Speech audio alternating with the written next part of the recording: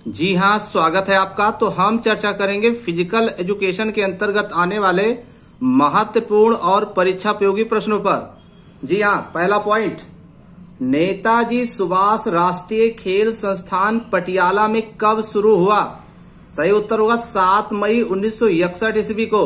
जी हाँ ये क्वेश्चन कई बार परीक्षाओं में पूछा जा चुका है, इसको भी ज़रूर ध्यान में रखें। क्वेश्चन नंबर सेकेंड प्राचीन ओलंपिक की शुरुआत किस वर्ष से हुई या कब से हुई? तो सात सौ छिहत्तर ईसा पूर्व ग्रीस से हुई थी। क्वेश्चन नंबर थर्ड आधुनिक ओलंपिक की शुरुआत कब से हुई थी? अठारह एथेंस से शुरुआत हुई थी। जी हाँ ये महत्वपूर्ण प्रश्न जो आपके परीक्षा के लिए बेहद उपयोगी है। प्रश्न नंबर चौथा देखिएगा। कोशिका के किस भाग को प्रोटीन्स की फैक्ट्री कहते हैं? तो इसका सही उत्तर हो जाएगा राइबोसोम। जी हाँ ये भी क्वेश्चन बार बार पूछा जाने वाला प्रश्न है। प्रश्न नंबर पांचवा कोशिका के किस अंग को सेलुलर गार्बेज डिस्पोजल कहा जाता है? तो इसका सही उत्तर हो जाएगा लाइसोसोम इसके अलावा कुछ सूचना है फॉर पीडीएफ कांटेक्ट करिए यहाँ से। जी हाँ अगर आप ए, कम से कम में आप तैयारी करना चाहते हैं तो पीडीएफ के लिए यहाँ कांटेक्ट करिएगा। जी हाँ चलिए क्वेश्चन नंबर प्रश्न नंबर छह देखिएगा। हड्डियों का अध्ययन क्या कहलाता है? तो इसका सही उत्तर हो जाएगा ऑस्टियोलॉजी। जी हाँ अगर आप तैयारी कर रहे हैं और कम से कम समय में ज़्यादा से ज़्यादा तैयारी करना चाहते हैं तो आप ज़रूर जुड़िएगा। प्रश्न नंबर सातवां देखिएगा। मानव शरीर में कितने प्रकार के जोड़ पाए जाते हैं? तो इसका सही उत्तर होगा तीन प्रकार के जोड़ पाए जाते हैं। प्रश्न नंबर आठ। जोड़ों के अध्ययन को क्या कहा जाता है? तो जोड़ों के अध्ययन को आर्थोलॉजी कहते हैं। अब बात करते हैं क्वेश्चन नंबर नाइन्थ की। जी हाँ क्वेश्चन नंबर नाइन्थ देखिएगा। महत्वपूर्ण प्रश्न।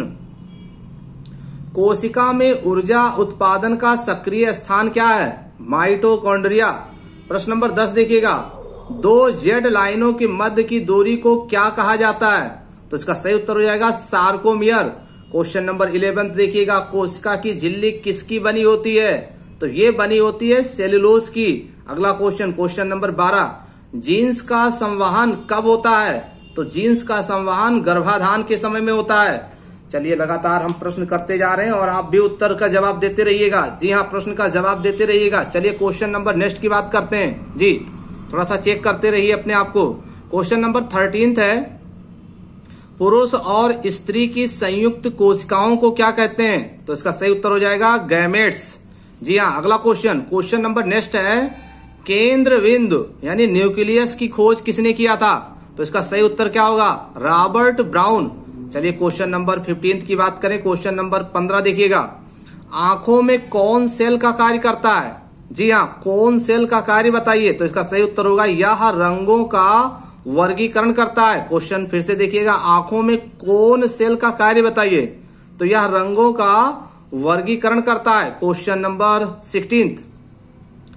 साइटोप्लाज्म को और किस नाम से जाना जाता है? तो इसका सही उत्तर हो जाएगा प्रोटोप्लाज्म या फिर जीव रस के नाम से जाना जाता है। क्वेश्चन नंबर, नेक्स्ट की बात करें, प्रश्न नंबर सत्रह। जी आरबीसी का जीवन काल कितने दिन का होता है? तो सही उत्तर 120 दिन का।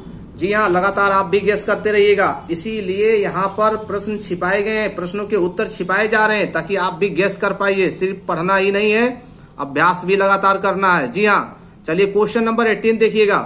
1947 से पहले भारत में कितने शारीरिक संस्थान थे?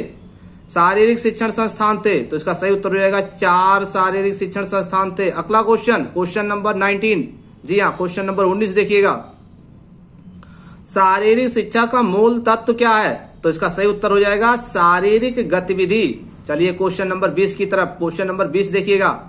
शारीरिक शिक्षा शिक्षा का एक अभिन्न अंग है। जी हाँ ये किसने कहा था? चार्ल्स, ये बुचर ने कहा था।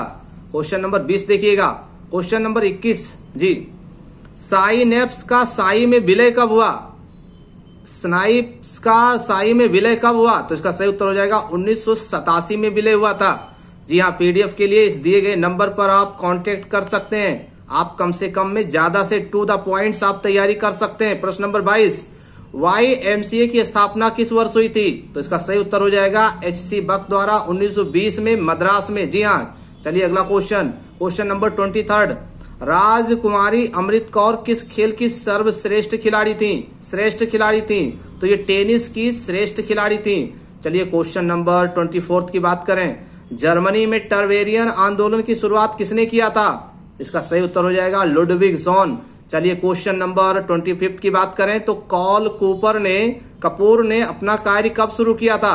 तो इसका सही उत्तर हो जाएगा 1960 ईस्वी में अपना कार्य करना शुरू किया था। क्वेश्चन नंबर 26 जॉर्ज विलियम ने किस वर्ष वाई एमसीए की स्थापना की?